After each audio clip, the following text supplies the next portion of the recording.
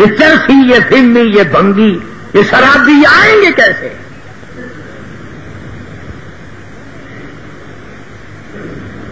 नित नए प्रोग्राम है, नित नई दुनिया है। हज़रत नसरत अल्लाह फरमाते हैं, मैं मदनी करीम वसल्लम के साथ साथ चल रहा था। बंसरी की कानों में आवाज़ आई। हुजूर करीम वसल्लम ने रहमत वाले हाथों की प्यारी प्यारी उंगलियाँ अपने कानों में डाल ली। दूर तक तो तशरीफ़ ले गए। इसके बाद फरमाया से वो मनहूस आवाज़ क्या अब भी आ रही है?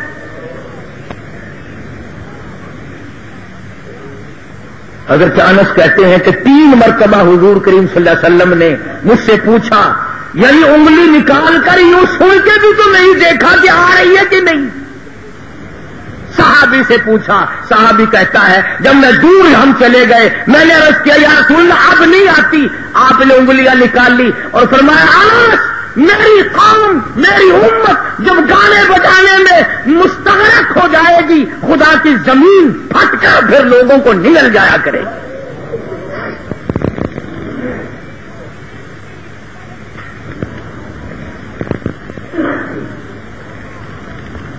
मुझे बड़ा ज़ोर लगा हुआ है, चंदे हो रहे हैं, मौलवियों ने लाउड स्पीकर खोले हुए हैं।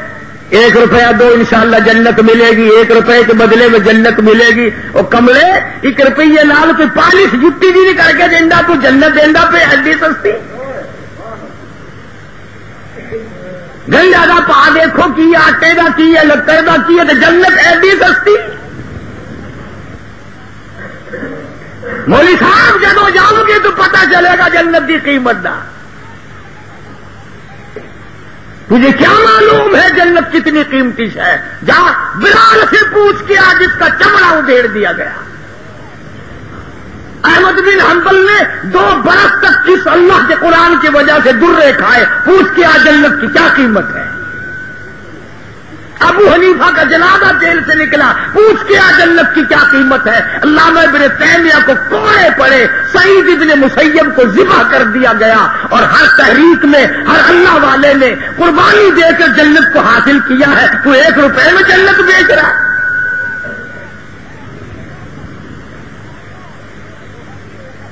अल्लाह पाक की जात भी बड़ी बेनियाज है। वो इस पे कादिर था। कि विरादत पैदाइश का दिन कोई और होता, कोई और महीना करता, और वफात का कोई और दिन, कोई और तारीख होती। अल्लाह अकबर अल्लाह अकबर। उस बेनियाज की बेनियाजी तो देखो कि पैदाइश का दिन भी वही, और महीना वही, और वफात का भी वही। अमूमन दुनिया में ऐसा नहीं होता कि जिस दिन पैदा हो, उसी दिन मरे आदमी। बड़ा मुश्किल होता है। मगर मदनी करीम सल्लल्लाहु अलैहि वसल्लम की विलादत पैदाइश भी बारह रबी अव्वल को और वफा शरीफ भी बारह रबी अव्वल को। अल्लाह पाक जानता था, मुसलमान तमाशा बनाएँगे, जश्न बनाएँगे जुलूस निकाला करेंगे। इसलिए फरमाया, अगर नबी की आमद की खुशी मनाएँगे तो वफात का गम सामने आ जाएगा। अगर वफात का गम उनको निडान करेगा, उनको तबाह करेगा तो आमद की खुशी सामने आ जाएगी।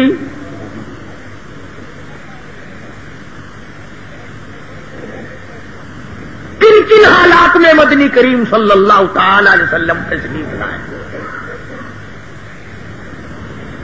हजूर करीम सल्लल्लाहु अलैहि वसल्लम की के वालिद माजिद हज़रत अब्दुल्ला आपको पेट में ही, अम्मा के पेट में ही छोड़कर दुनिया से रुखसत हो गए। अंदाज़ा लगाओ उस गरीब और उस यतीम की ज़िंदगी का क्या कहना, जो पैदा होने से पहले लावारिस हो गया हो।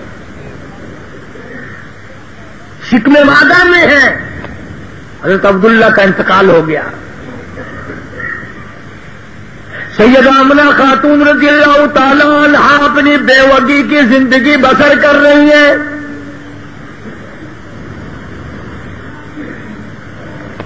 की दादी ने हज़रत के दादा से एक दिन भी इशारा करके बुलाया और बिठाया।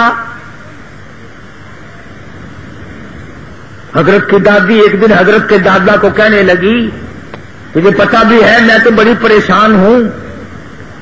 मैं तो बहुत परेशान हूँ। हज़रत के दादा ने पूछा, क्यों? कहने लगी, ये हमारी बेवा बहू जो आमना है, ये इतर इस्तेमाल करती है, खुशबू लगाती है। है भी बेवा, है भी पेट से। और कुरैश की बेटी, कुरैश वालों की सरदारों की घरवाली है, लेकिन इतर लगाती है। मुझे बड़ा फ़िक्र है अपनी इज़्ज़त का।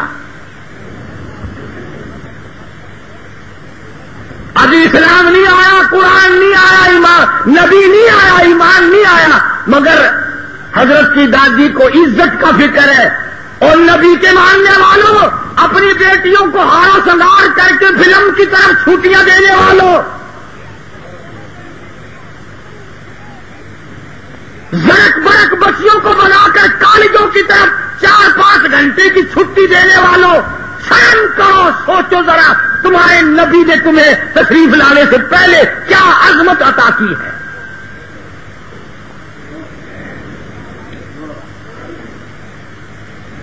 हज़रत दादी कहने लगी, मैं तू बड़ी परेशान हूँ, हैरान हूँ, क्या करूँ? हज़रत दादी ने जवाब दिया, तू पूछ लेती, तूने क्यों ना पूछ लिया? अल्लाह अकबर, हज़रत की दादी कहने लगी अब्दुल मुत्तलिब को, मैं तुझे क्या बताऊँ? मैंने कई मरतबा इरादा किया, कई मरतबा बुलाया। जब मैं आमरा बेवा बहू के चेहरे पे नज़र डालती हूँ, मैं पसीनों पसीना हो जाती हूँ। मुझ पे इतना रोग पड़ जाता है, मैं तो इसकी सूरत देख नहीं सकती। इतनी चमक है, इतनी धमक है, इतना जलाल है, इतना रोब है। बुलाती हूँ, पूछ नहीं सकती, बोल नहीं सकती। औरत साथ हो, मैं तुम्हें कहती हूँ, तुम मर्द हो, तुम पूछ लो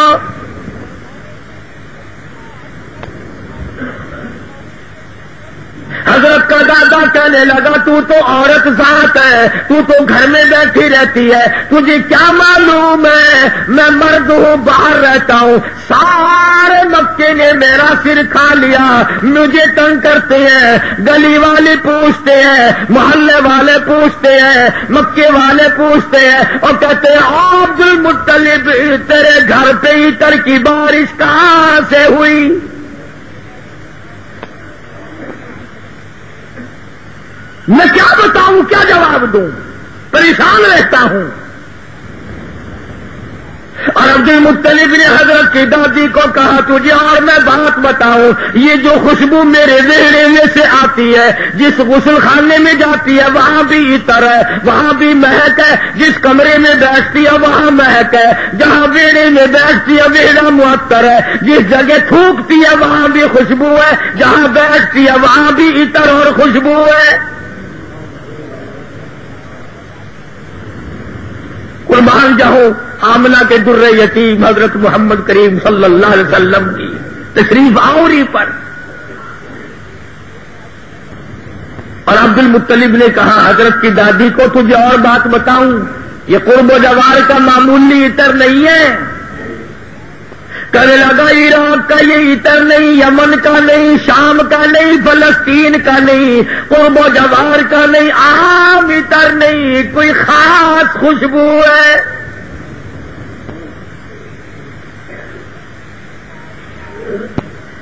हज़रत की दादी कहने लगी, फिर पूछ लो।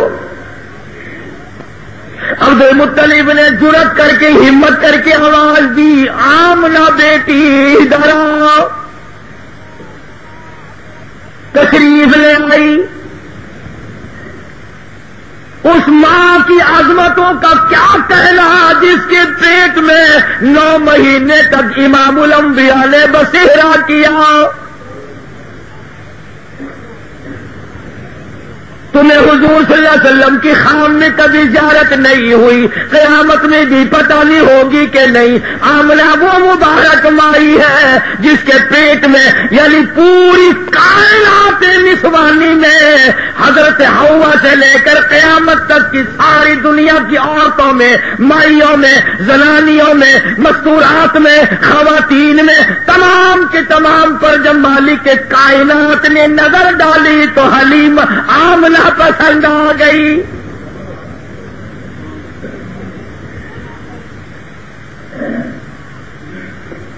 हमारे मुल्क में अगर अगर किसी अफसर की किसी औरत पे नज़र पड़ जाए और वो अपनी बना ले तो लोग कहते बड़े मज़े आ गए।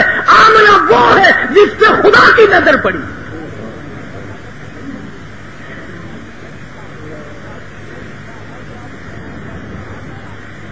न ऐसा नबी आना न ऐसी माई आनी न पहले थी न अब है न हो सकती है।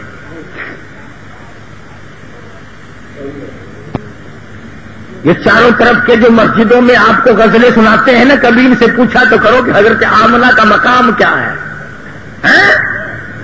पूछा तो करो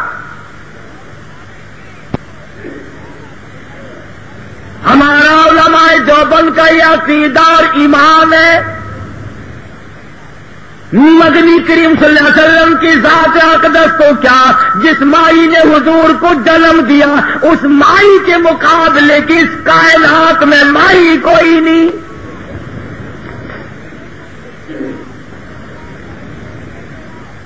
अब्दुल मुतलिब ने बुला लिया, तशरीफ़ ले आई, जरा जुरत करके कहा बेटी आमना।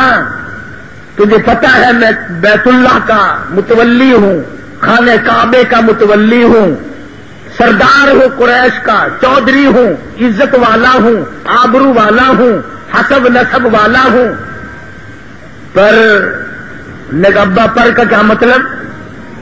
कि बेटी, ये तो बताओ, ये इत्र कहाँ से लाती हो, जो इस्तेमाल करती हो? और ये भी मैं जानता हूँ कि आम इतर नहीं। सैयद आमना खातून रजील्लाहु ताला आपकी आँखों से आँसू शुरू हो गए और फरमाने लगे, अब्बा, क्या बताऊँ? मैंने सारी ज़िंदगी में कभी इतर खरीदा नहीं।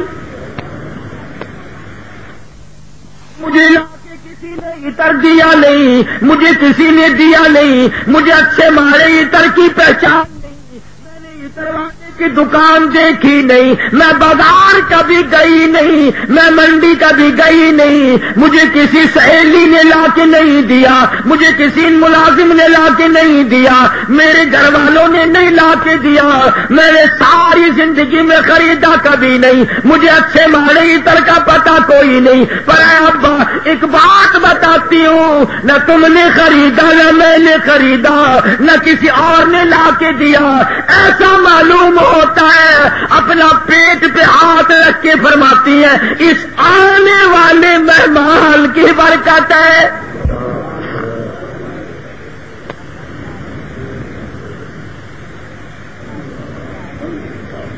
और कहने लगी, अब्बा, तुमने तो सिर्फ़ खुशबू सूंघी, अगर कुछ और बताऊँ दीवानी कहोगे। फरमाती है अब्दुल मुत्तलिब। ये सूरज मुझे कई मरतबा सलाम करता है। ये चाँद मुझे सलाम करता है।